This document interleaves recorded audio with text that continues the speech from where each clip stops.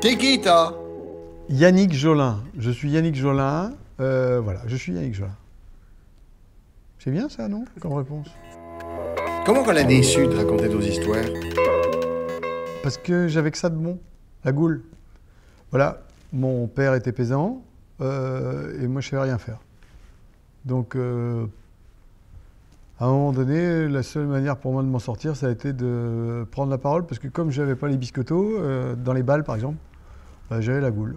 Et donc j'ai commencé à raconter des histoires pour échapper à la mort.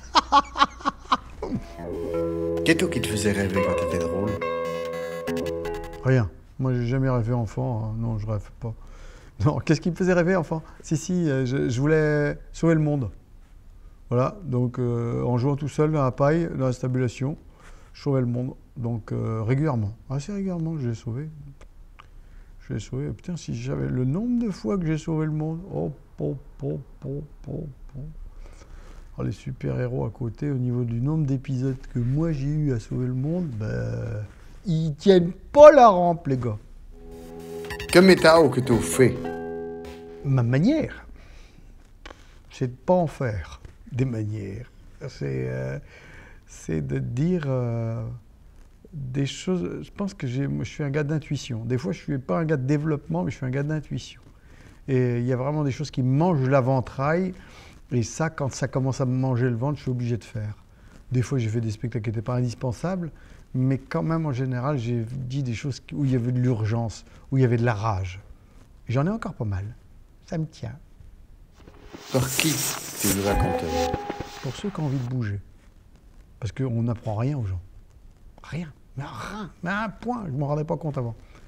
Par contre, on révèle des choses que les gens possèdent déjà et ont envie de faire.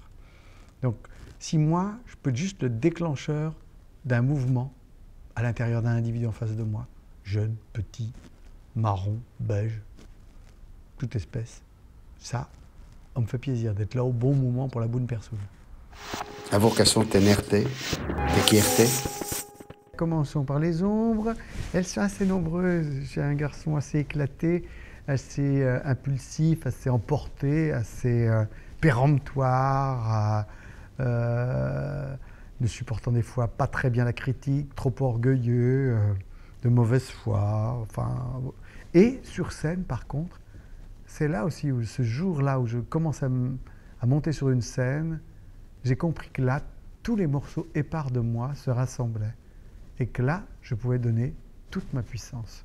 D'où la difficulté après, sans doute, de redescendre sur le plancher des vaches et de recommencer à chevaucher donc euh, la vache en tant que civil.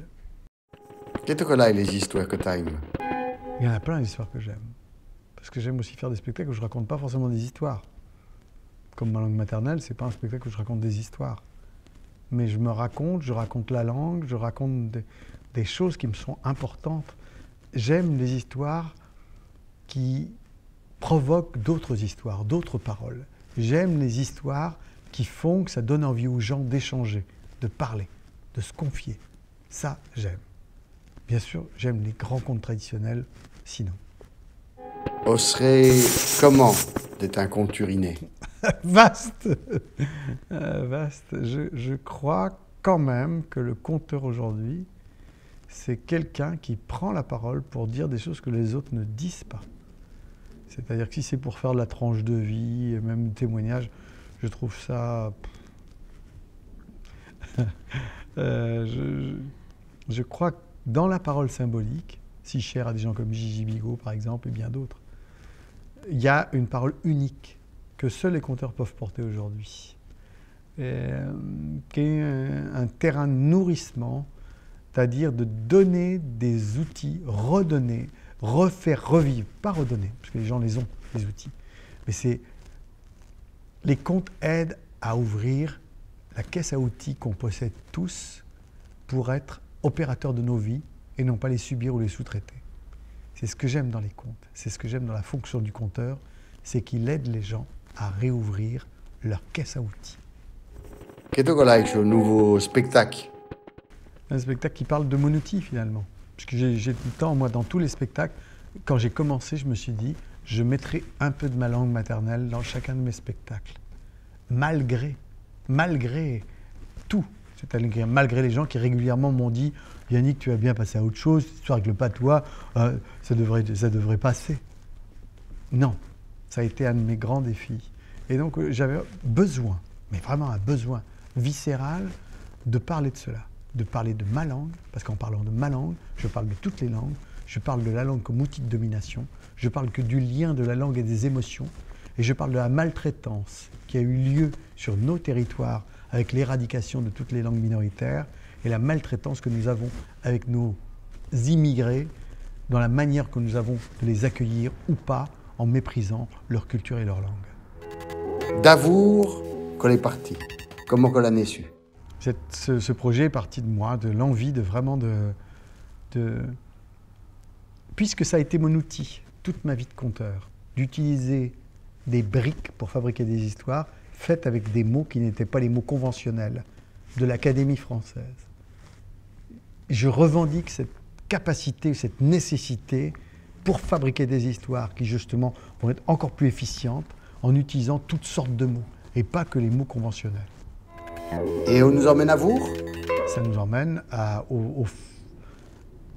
à faire ce que, ce que je disais tout à l'heure, c'est-à-dire à donner envie aux gens de parler après le spectacle, à donner envie d'échanger. Parce que ça révèle, ça renvoie chacun sa propre histoire sur la langue. Il n'y a pas une personne qui est venue voir ce spectacle qui ne m'a pas dit son, tout à coup son rapport à la langue maternelle, apprise, avec les regrets qui vont avec, avec les souvenirs lointains. En tout cas, pour un conteur, la langue, c'est l'outil. Donc s'il y avait un sujet qui devait être abordé par un conteur, c'est bien celui-ci.